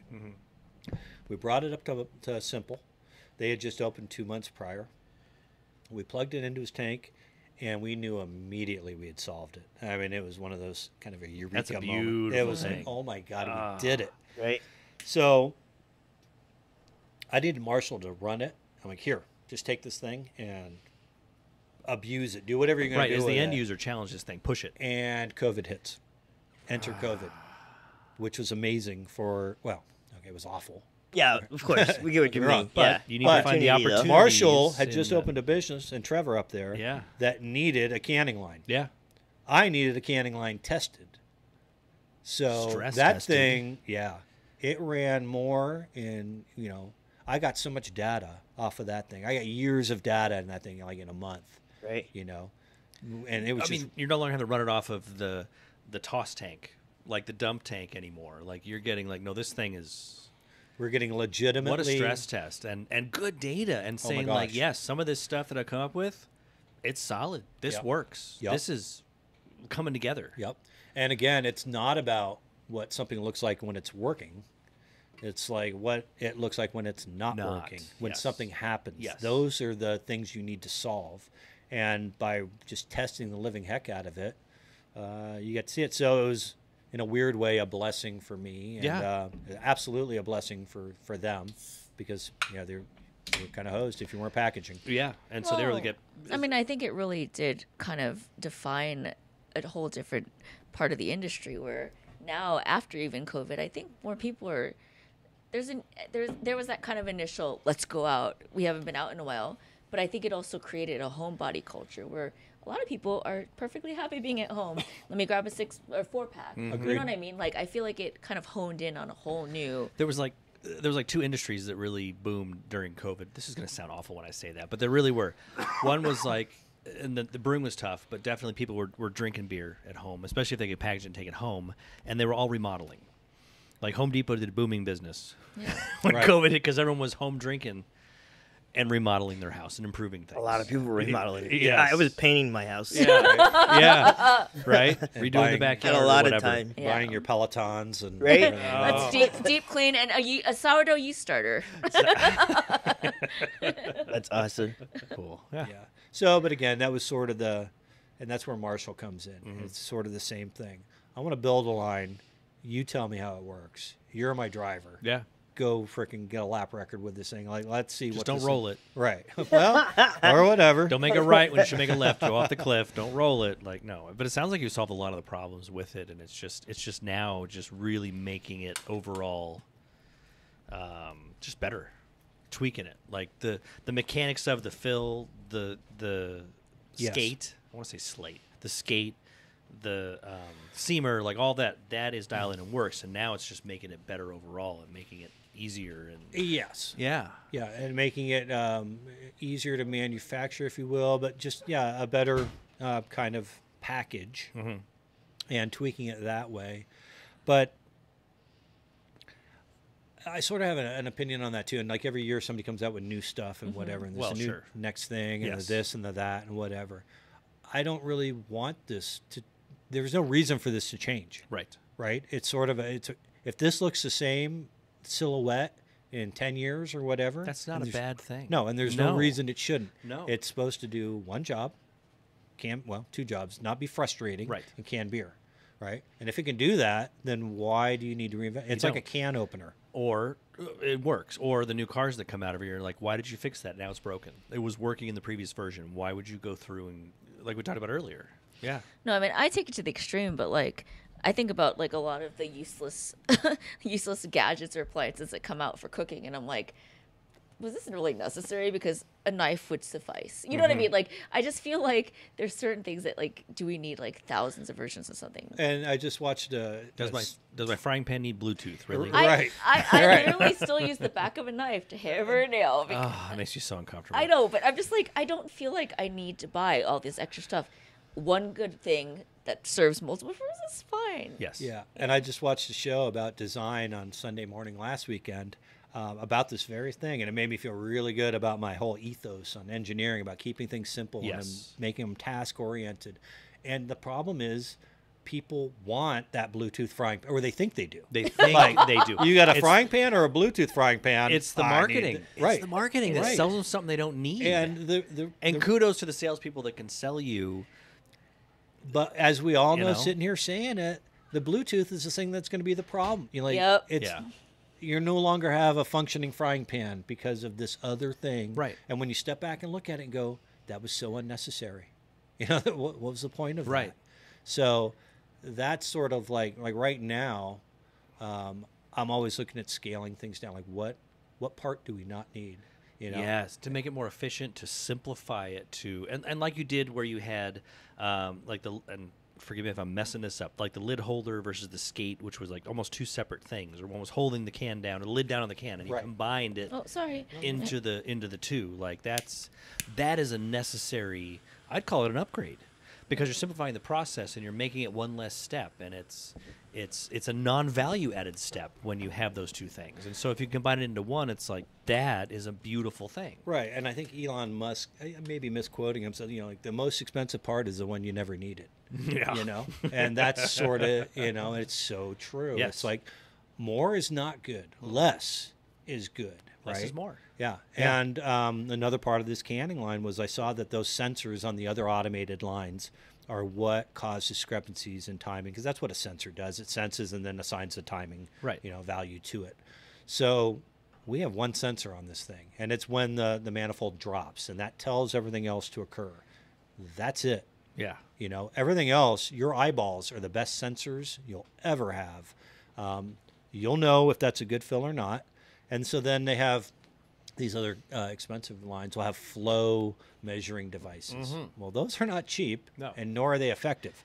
So, They have uh, it's, a, it's a failure point. right, Yeah. it's a very expensive failure point Yes. that when you're and again you have to be realistic about what you're doing okay the canning line that i build was meant for small operations that maybe want to do 10 or 20 cases to sell in-house or maybe you know locally or whatever Mm-hmm. Yeah. but we're not talking a regional operation here. Distribution. right Yeah. so with that in mind right you are and you are super in control of the product that you're turning out which is awesome right well you're more than capable to watch these two cans get filled and Right. determine whether it's a good fill and then you're going to weigh the can you know uh, you'll know and fairly quickly what a good fill looks like Yeah. you're going to know whether a lid just went on that thing under the lid dispenser you know before you put it into the seamer and you're going to run it into the seamer so it's very well, hands-on in that It's a very hands-on thing, but you're not running from the filler to the sink to the can line to the canner to the pallet to the Right. like it's everything is is much more compressed and so is it is it hands-on with it absolutely and at the brewery size that's how it should be Right. because and what's going to happen is it's going to work every time because you and your hands are what are moving it and determining it and. Right. and so on and that may sound like and it's trying to explain that to people or whatever because that doesn't sound great you look at these conveyors you're like oh that's awesome you know and and it is i mean it is to a certain level but then when you start realizing the failure points and when that line goes down when that conveyor belt goes down Right. your entire system's dead in the water right and you can't fold that system up and put it in the corner Correct. And when you talk to people, you know, like Marshall Mm-hmm. and you guys are Lake Pleasant, right? They're business owners that are brewers. Yes. They've got a lot to do in their day. they wear a lot of hats Diagnosing a canning line is not part of it. Not a high on That does list. not need to be a thing. Right. Right. That thing needs to do like a hammer. It does its job. Yes. And then we put it away. Right. And we get on with the million other things that are going on. And usually some drama, probably, if there's a tap room involved, right? Um, you know, there's a lot to deal. with. so, like how many headaches do you want? Yeah. You know, I'm Yeah. trying to make like you know, Life easy one less as headache. possible. One less headache. And if you don't have to uh, worry about your, your canning line, you know, or your fermenter, or your all the other stuff that you have to do. I mean, that's just such.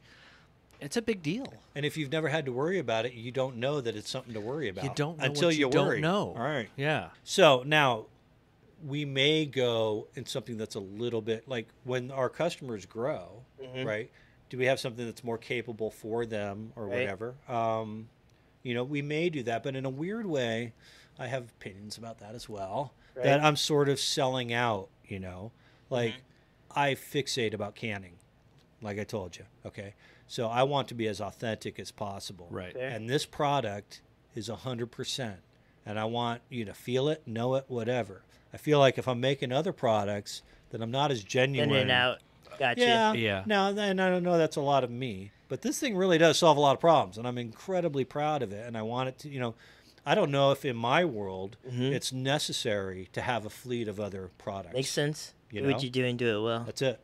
Keep it simple. Right? Yeah. You know, that's Yeah. what I want. Like, and again, less headaches. Right. You know, I don't. You know, I want to make something that's proven Mhm. that I can stand behind and sell, and you know, I really liked your mission statement where it's like cost effective, small footprint is a huge thing. Like I just I feel like you had a mission. You, you should just you can And just you stick stay with true that. You to stay that, true to the it. Yeah, ethos. exactly. Yeah. You know, and uh, there wasn't anything really like that before. There still really isn't anything like it now. Yeah. Yeah. So why do I need to go chase for something else? Well, you know, and, like, and your canner's in a lot of breweries. yeah, In, we've been from super what we see in fortunate. Arizona. I mean, you, but you guys are in other states too, aren't you? Yeah, yeah, Yeah. We're um, 23 breweries right now. 23. Yeah, we've got one coming out to uh, Galveston here. Going to the Caribbean here before that. That's which- cool. That's fun. Wow. Uh, yeah. Do they have a lot of beer to can out there? well, they're opening a brewery on this island uh, that's specific. Like it's, it's a touristy destination. JB, this is all. It's got your name written all over it. No, he likes it. He's our travel bug. So, Yes. yeah. It's a deep sea diving operation, or well, uh, a touristy uh, Uh-huh. scuba diving, Yes. uh, or yeah. Um, so that's the main. There's a bunch of corals around there. That's the main touristy thing there. So all the beer on this little island is either it's Heineken, basically, I guess, and it's all brought in through a distributor. No red It's- stripe. That's a shame. Well, okay, maybe there is. Okay. I'll, I'll find out and let you know. All right. Uh, but yeah, they said, hey, there's no brewery here. Let's open a brewery. The guys own the dive shop. well, there's a need. Yeah. Yeah. Wow. So um, yeah, that's neat. So.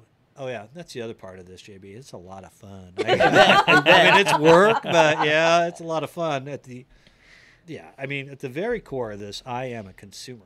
Like Right. maybe too much so, but I am a craft beer guy. Girl, I, this is me. I he, he's the brewer. I'm like, let me just drink all the beer. She, we call her the professional taster because we're trying to be respectful. Yeah. Uh, So I mean, how cool is like my job, right? I get to sell a piece of equipment and go to New beers, Hampshire, right.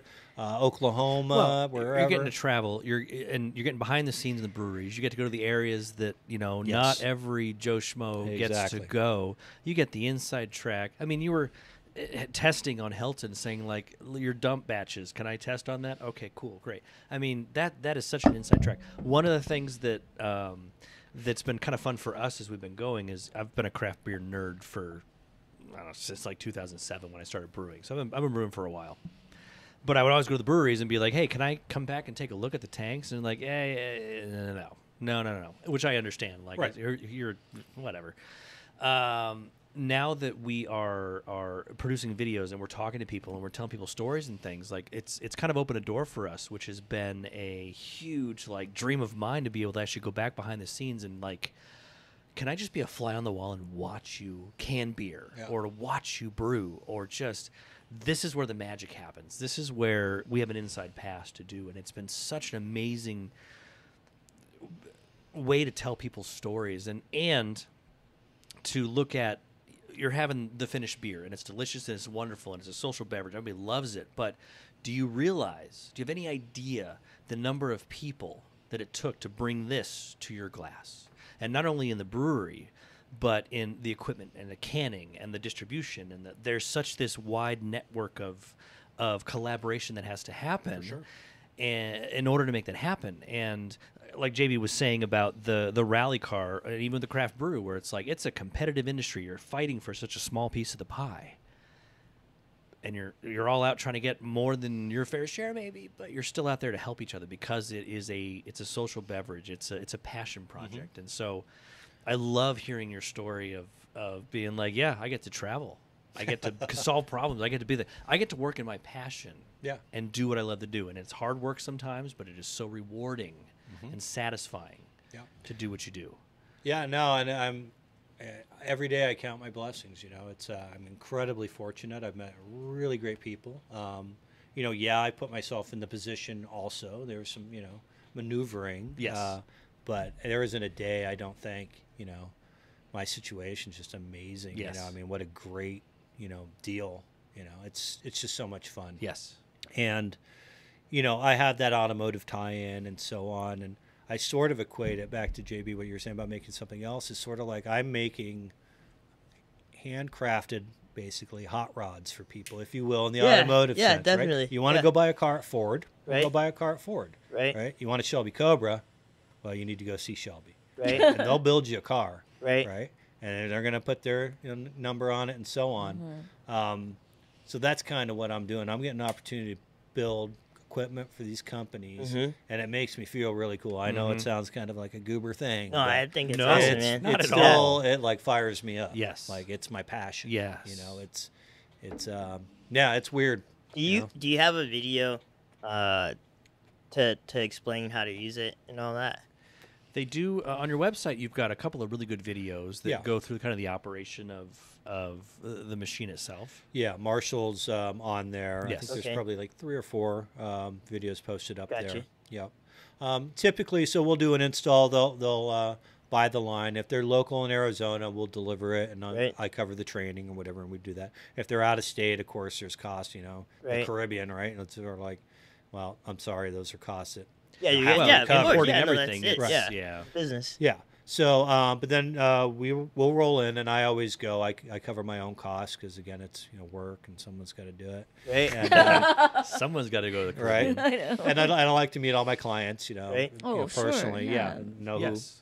who. And then Marshall will do the training, but typically it'll take you know a half hour Right. of running it for someone to get kind of familiar. You guys went and saw Yeah, it, so Yes. you get the idea. They got it dialed in really quick. Yeah. Yeah. So, um, you know, yeah, it's not so much, you know, um, it's just you've never seen anything like it before. No. Right. Right. No. So you kind of need someone there to go, okay, well, here's the button to turn it on, you know, Mm-hmm. Right. and kind of walk you through it. And so it's not like this mind blowingly weird thing or whatever, but Yes. still it's necessary. When it's turned on, it looks like mission control for me. Right. I mean, yeah, and we want to make sure our clients have the best experience right, Right. out of the box. And so training is is definitely part of that. Yes. And here's another reality that I got to see firsthand in the world of brewing, right? You got your master brewers, you know, maybe uh, uh, you know the owner of the company or whatever that's really invested in the canning line or like interested in it whenever whenever it shows up. And I mean like a high end piece of equipment, whatever, right? Yeah. My experience leading up to this point. Okay, well, very quickly they realize they've got a they've got a business to run, Mm-hmm. right? So ultimately, that job gets handed off to the cellarman Yes. or Right. whatever. Yeah. Okay.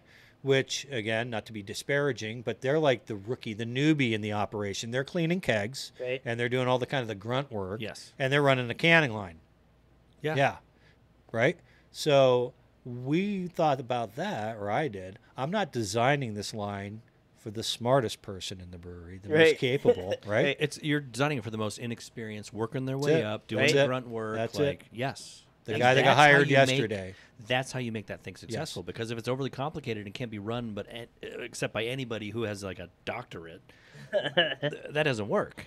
Right. It has to be. So I'm not making it for the owner. I'm making it for the kid you hired yesterday or to operate. Right. Yeah. Yeah. And if you can do that, well, then you're probably going to be okay. Yeah. yeah. Yeah. So, That's amazing. Mm-hmm. That's so cool. Thank you so much of course. for coming down Oh, and no, I spending some time you. with us. And we don't want to take up too much of your time today. So um, the beers were delicious. The cigars were actually really good. This was great. We had better ventilation today. I think we had some ventilation issues last time with Eric. It got real smoky in here, and he wasn't partaking in the cigar. No. so I felt I felt so bad about it. I'm like, it's getting a little hazy in here. Yeah, he's so- a trooper. Oh, he is. Oh, he's a He's a cool dude. He Yes, was really is. cool, yeah. Yes. So we had so much fun talking to him and, and Marshall, and, and we appreciate you coming by and doing it. I would love, if you're okay with it, we got some great footage of uh, the cano in action, Yeah. and we want to piece together something, and we're going to overlay some of that footage on top of today's episode. Cool. So people, so the the the viewers and, and the listeners can see.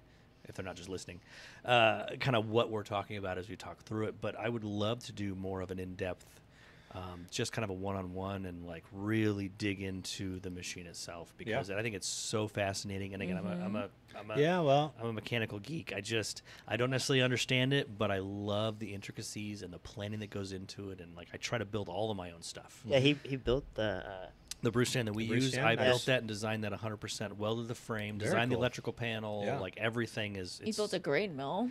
I built the grain mill. It's a it's a um, well, I didn't do the grain mill because I'm not that great metal work, but the, The cabinet box. that it sits in actually folds up to compress down so I can slide it. So it's it's a smaller footprint, and then it completely unfolds and you can crush in it. So it's I, I like everything you're saying. I'm like, oh my god, I would love to spend the well day. let me just... let me tell you about like the key to not being great at something is to hire people that are. Mm-hmm. And so while I built the first one on that lathe that I went whatever, I quickly went, okay, now I'll find the guy that does it for a living. Yes. Right. And hire, and that's the- the welder I'm going to go see here right when we're done. And a couple, I've got a bunch of really incredible, talented people.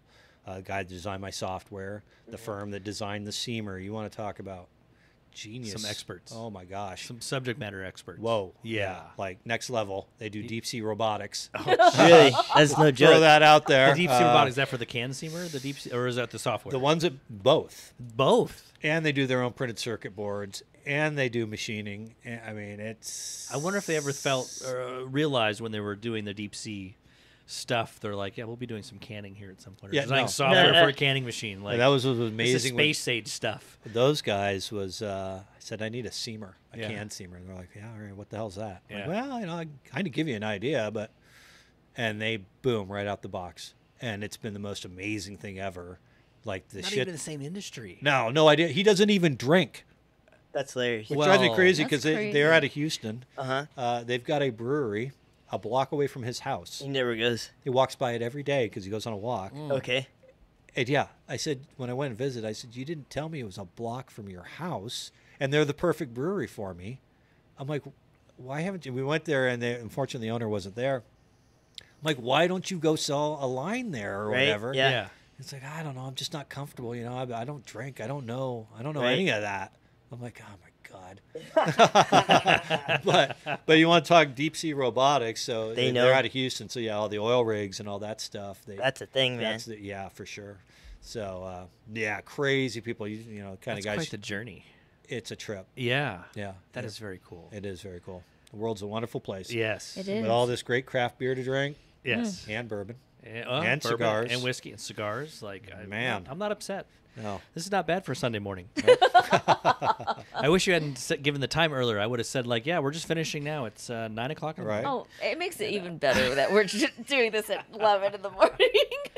Now this is something we enjoy and, and we have so much Yeah. fun with it. And again, we appreciate you coming out and having some stogies with us and having some beers with us. And I just I love the story and I, I want to do some more work with you and I want to keep Well, thank you. talking about Thank that you. because Yeah. it's just I'm fascinated by what you do and I, I think we kind of all are and we appreciate mm-hmm. the entrepreneurial spirit taking that chance and leveraging the experience that you have from the past and being able to turn that into something that is so within your wheelhouse and within your passions. I mean, Yeah. that's just that's awesome. Well, I appreciate. It. I mean, I think it's a really fun story with a lot of great people. You know, mm-hmm. but I certainly try to not come off as some knowing, all knowing. You know, whatever. Listen to me, kind of. So I'm a little bit awkward about whatever. I don't think so. know. No, and I That think was pretty cool, man. I think having the frame of mind of you're always learning, and that's the same with brewing. Like I don't care how long you've been brewing, you're always learning something. It's always adapting. It's always changing. It's it's always. And if you have the frame of mind of like I know everything, you can't learn and you can't Oh, adapt. You can't doubt. change. Without you need doubt. to approach it with a yeah, I know a lot, but I don't know everything. Oh, there's no doubt of that. But all, everything could be tweaked a little bit. And there's nothing wrong with that. yes. And prepare to fail. Yes. There's absolutely. I mean, that's the most important thing I think that I learned in this whole journey is man, failure. Like you just gotta. That's not a bad It's thing. okay. No, it's a It good is not a bad thing. No, it's because it makes it better if you can stick with it, get through the failure, and learn from it and keep Yep. going. Yep. Yes, Absolutely. it's great.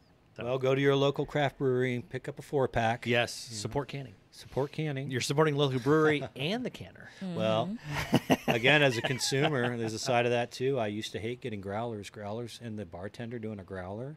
You know, they didn't like it either, right? It was kind of a, a thing. Well, now you can go grab a four pack, Yeah. drink it whenever you want or Right. not, throw it in your fridge.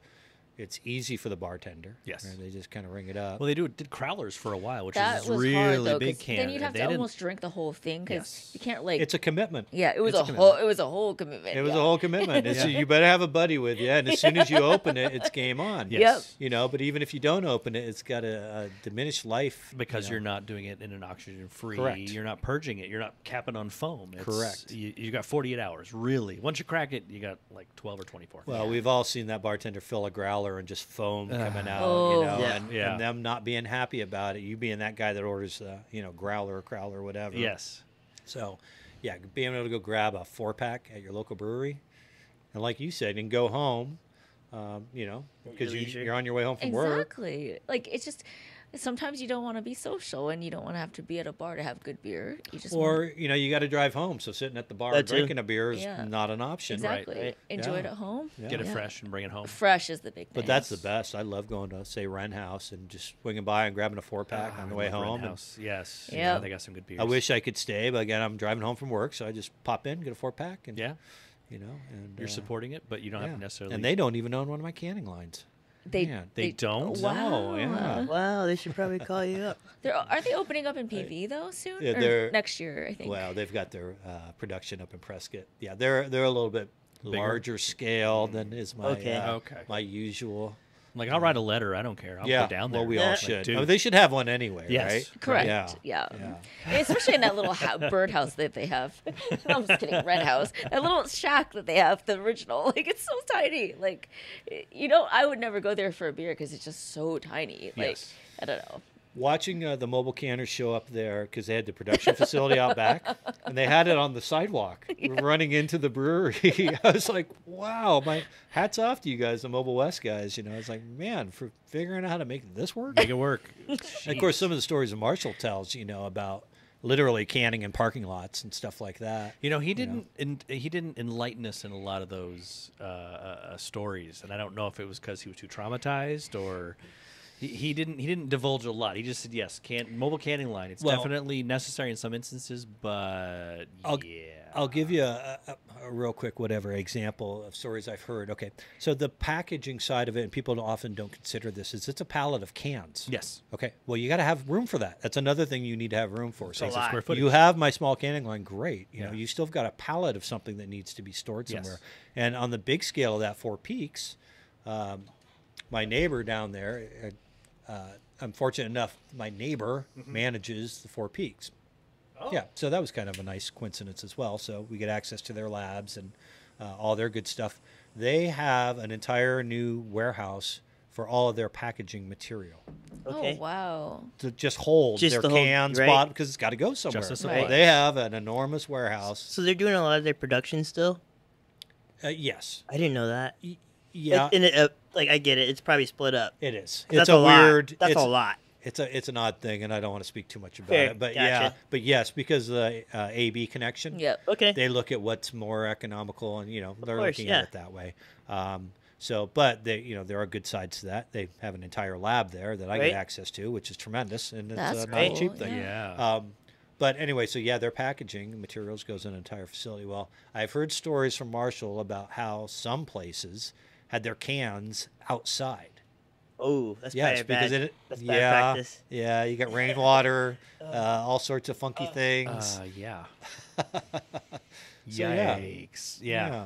So I don't know if you. Uh, Marshall had a friend that also used to work at Helton, and I don't know if you actually knew him or not. But Aaron, like he was on, like he was the one that was like kind of jumping in our. Anyway, so I think we talked about that. oh yes, Aaron. Yes. That what we talked about was back in the day, like that was kind of our mecca of craft beer, though. Like if you think about it, it was Helton, and then it was like Wren House. Like that whole area was like the, the San Diego. Bermuda Triangle. Yes. and then uh, Wandering Oso, Tortoise is kind of over Oso. yeah, Oso, yeah. yeah. And then Arcadia, like Ar- they had, um, they still have the attic, which wasn't homebrew craft brew, but like just a good beer selection. It was the beer bar, right? Like good food, beer bar. So I don't know. That reminds me of like my Disneyland of beer. Yeah.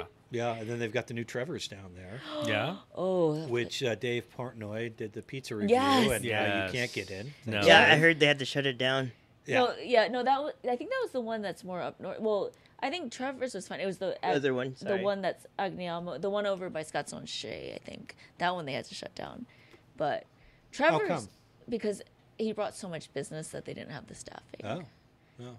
Yeah, Yeah, because I have the original one by me on Scottsdale McDowell, and they don't, you know, they have food trucks, uh, but that place is a mecca. Yeah. of- yeah, Yeah. So, but yeah, yeah, it's a great area. I'm fortunate enough to live in that great little area too. There's a lot going on, and Yeah. yeah. another happy coincidence. Hey guys, thank you so much for tuning into the Hot Break Craft Beer Cast. A special thanks to Andrew for stopping by and and spending some Anthony. time with us. Oh my god. Did you Messing say Anthony again? I thought I said Andrew. You did. You did. He Oh, was my just messing Now you're messing with me. That's awesome. That was the best. Oh my god. Brain space. My god. Plot twist. I like you. He's our he's our kind of people. I like this is it. great. It's I love awesome. it. All right. Special thanks to our mystery guest that joined us today. it begins with an A. He's messing with me. Emphasis on the A. Yeah, Uh, I've been no, we called a lot of appreciate names. appreciate With an A.